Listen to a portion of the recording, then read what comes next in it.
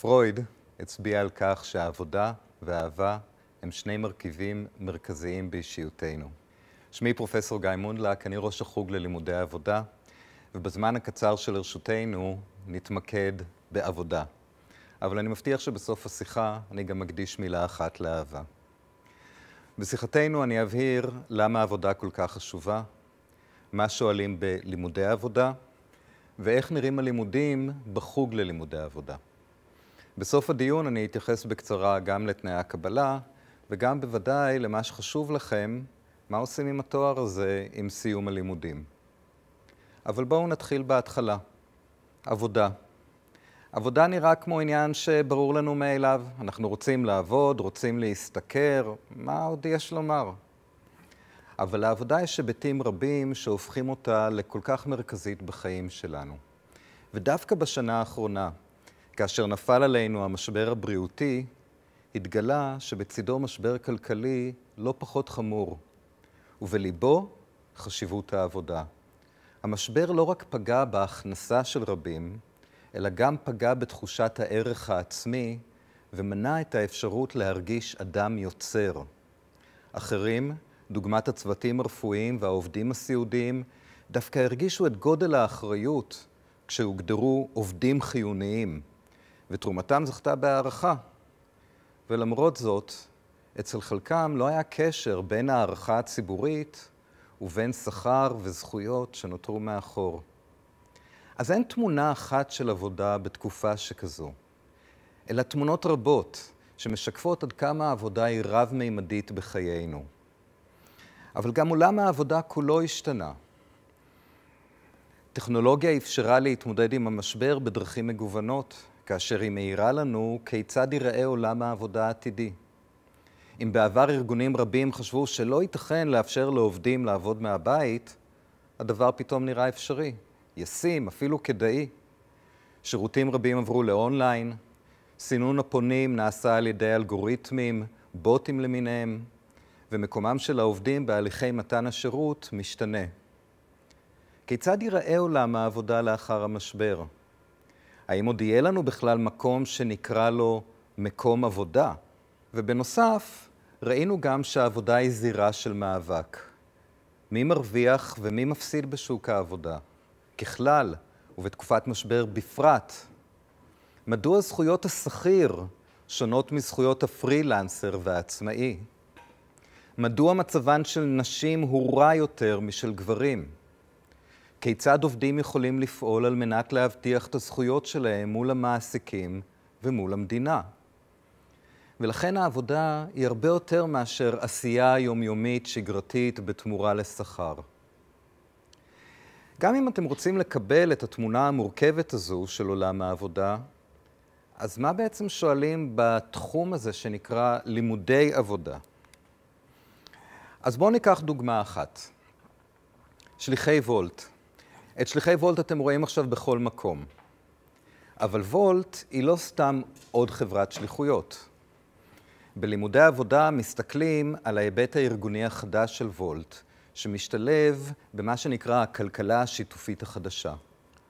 וולט לא מעסיקה עובדים, אלא מחברת על ידי פלטפורמה אינטרנטית בין שליחים עצמאיים לבין לקוחות והמסעדות.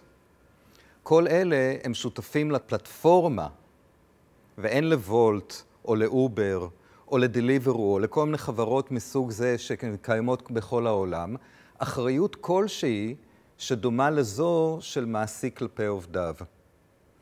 ולכן בלימודי עבודה נרצה להבין כיצד מפתחים צורות ארגוניות חדשות. מי היזם? מה החזון של המנכ"לית? כיצד בונים מנהיגות? בלימודי עבודה נשאל גם כיצד מודל זה משפיע על הניהול של הגורם האנושי. כיצד מגייסים עובדים חדשים? כיצד מבטיחים על ידי תמריצים כספיים ויצירת מחוברות ארגונית שהשליחים ישמרו על המוניטין של הפלטפורמה ויעשו כמיטב יכולתם להביא את המשלוחים בזמן. כיצד מבטיחים שבכל זמן נתון כמות השליחים תתאים לצרכים של המסעדות והסועדים? איך כלים ניהוליים ותיקים מתאימים את עצמם לארגונים מסוג חדש? בלימודי עבודה נרצה להבין את כלכלת העבודה. מה משפיע על ההיצע והביקוש של השירות? מה יתמרץ עובדים לעבוד בוולט להבדיל מחברת שליחויות שפועלת כמעסיק? כיצד שירות כזה משפיע על הביקושים של הצרכנים? נוכל גם להסביר מדוע יש שליחים שמשתכרים יותר מאחרים, ורמז, זה לא רק תלוי בכישורים שלהם. נמצא שזה תלוי גם במגדר, גברים או נשים, ובמוצא. בלימודי העבודה נברר מהן הזכויות של אלה שמכונים שותפים במקום עובדים. מדוע נשללות מהשותפים מרבית הזכויות שהחוק מעניק לעובדים? מה יקרה אם תהיה לעובד תאונת עבודה? מה מעמדם של הטיפים שמקבלים העובדים?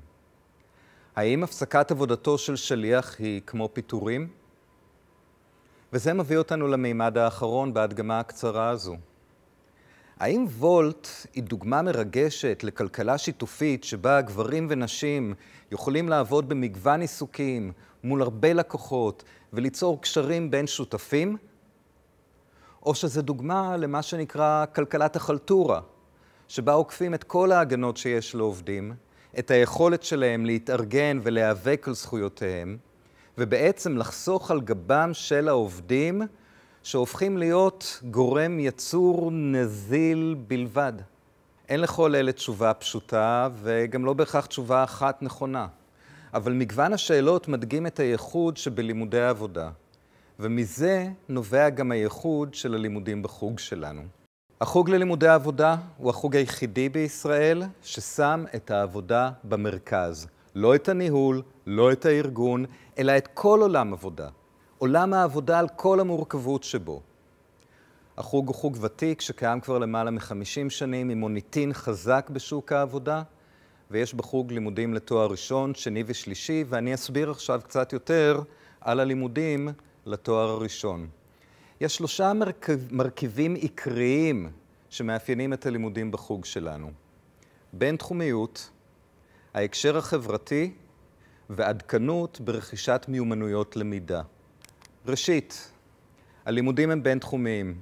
כפי שהראיתי בדוגמה הקודמת, ההסתכלות על נושא מסוים נעשית תוך שימוש בכלים מתחומי הכלכלה, הפסיכולוגיה, ניהול, משפט, סוציולוגיה ועוד. היישום תמיד חוזר לעבודה, אבל התלמידות והתלמידים בחוג יוצאים מהלימודים עם היכרות רחבה של תחומי חקר רבים. שנית, הלימודים בחוג מדגישים את הקשר שבין תהליכים שמתרחשים בתוך ארגונים לבין תהליכים חברתיים. אפשר לומר שיש לחוג שתי אונות שפועלות כל הזמן זו בצד זו. לא ניתן ללמוד על תהליכי גיוס עובדים בלי להבין מדוע ישנן קבוצות באוכלוסייה שבאופן שיטתי נשארות מאחור, ומה מסביר את אותם תהליכים של אפליה שיטתית. בדומה, לא ניתן לדבר על תהליכי התחדשות ושינוי ארגוניים, שהרבה פעמים נלווים להם גם פיטורים, מבלי להבין מה המשמעות הפסיכולוגית והכלכלית של אובדן עבודה למי שנקלע למצב של אבטלה. ולבסוף, תוכנית הלימודים שלנו משתנה כל הזמן, והיא מתאימה את עצמה לממצאים והמלצות של ארגונים בינלאומיים, דוגמת ארגון הכלכלות המפותחות, ה-OECD, לגבי האופן שבו הלימודים צריכים להתאים את עצמם לשוק עבודה משתנה. בעוד עשר שנים בוגרות ובוגרי החוג יעבדו בעיסוקים שאנחנו עוד לא יודעים אפילו איך יקראו להם ומה תהיה הגדרת התפקיד. לעומת זאת, עיסוקים מקובלים בשוק העבודה ייעלמו. מה שנדרש כיום באוניברסיטה זה לא להעניק ידע טכני לגבי עיסוק כזה או אחר, אלא להעניק תשתית אינטלקטואלית. לפתח שפות שמתאימות לעולם גלובלי, וגם שפת תכנות שמתאימה לעולם טכנולוגי. יש צורך בפיתוח מיומנויות בין-אישיות שיתאימו לאותן משימות מורכבות שאי אפשר להמיר אותן באלגוריתם ממוחשב. ומעל ומעבר לכל אלה, לפתח את היכולת ללמוד באופן עצמאי ולראות בתואר הראשון קרש קפיצה ללמידה מתמשכת לאורך כל שנות העבודה. אנחנו רוצים להוציא מבין שורותינו תלמידים שמצוידים בכישורים שמתאימים להתקדם ולהיות המובילות והמובילים בעולם העבודה החדש. בליבה של הלימודים בחוג ללימודי העבודה נמצאת כוורת קורסי החובה. הלימודים מתחילים בסמסטר הראשון בקורס מבוא ששואל מהי בכלל עבודה ולמה היא חשובה. ולאחר מכן הכוורת כוללת את הפסיכולוגיה הארגונית, את כלכלת העבודה, דיני עבודה, יחסי עבודה, ניהול משאבי אנוש וגם היבטים חברתיים והיסטוריים של העבודה. אלה מאפשרים להבין את כל התהליכים העכשוויים ברצף שמסביר כיצד התפתחה העבודה במובנה כיום וכיצד היא צפויה להשתנות בעתיד. בהמשך לכוורת הזו תוכלו ללמוד קורסי בחירה וסמינריונים שמפתחים תחומים שיעניינו אתכם, דוגמת תהליכים ארגוניים, אי שוויון חברתי, אתגרי הטכנולוגיה, גלובליזציה ועוד. הלימודים בחוג הם במתכונת דו-חוגית, ולכן צריך לשלב את לימודי העבודה עם תחום לימודים נוסף. ואז עולה השאלה עם מה משלבים. אז אני אתחיל מהשורה התחתונה, עם מה שתרצו. יש שבוחרים שילוב עם משהו שמרגישים שהוא פרקטי, ויש כאלה שמחפשים משהו לנפש, ובהקשר הזה אין נכון ולא נכון. ודווקא מהזווית שלנו בלימודי העבודה, אני יכול לומר לכם שלהמשך הקריירה עם תום הלימודים, מה שחשוב זה הצלחה בלימודים באוניברסיטת תל אביב עם המוניטין האקדמי שלה. רוחב יריעה אינטלקטואלי ועניין אמיתי של הבוגרים במה שהם למדו. זה המסלול להצלחה. אז יש פה בשקף דוגמאות לשילובים אפשריים. אפשר לשלב עם כל חוג באוניברסיטה ויש היצע אדיר באוניברסיטה לשילובים. מעבר לכך, אנחנו מציעים גם מסלול מובנה, ביחד עם החוג לסוציולוגיה ולאנתרופולוגיה. זה המסלול במנהיגות ומשאבי אנוש. המסלול נסמך על הלימודים בשני החוגים ומוסיף קורסים ייחודיים, דוגמת פרקטיקום התנסותי וקורסים במנהיגות. המסלול מציע בסיס רחב מאוד להמשך, אך יסייע במיוחד לאלה שרוצים להשתלב במנהיגות ציבורית בעתיד. אנחנו גם מפנים אתכם אה, לכך שהחוג לניהול פתח בתואר הראשון הקבץ למשאבי אנוש, והפתיחה הזו נעשתה בתיאום של שני החוגים, והשילוב של מה שאנחנו יכולים להציע ביחד נותן, אני חושב, היום את הבסיס המקיף ביותר בלימודי ניהול משאבי אנוש ועבודה בישראל. וזאת בהתאם להמלצות האיגוד האמריקאי למשאבי אנוש, שהגדיר את הבסיס הנדרש להשכלה המקיפה בתחום. אז אלה האפשרויות שעומדות בפניכם. אז בואו נגיע לקצת דברים פרקטיים. איך מתקבלים ללימודי העבודה?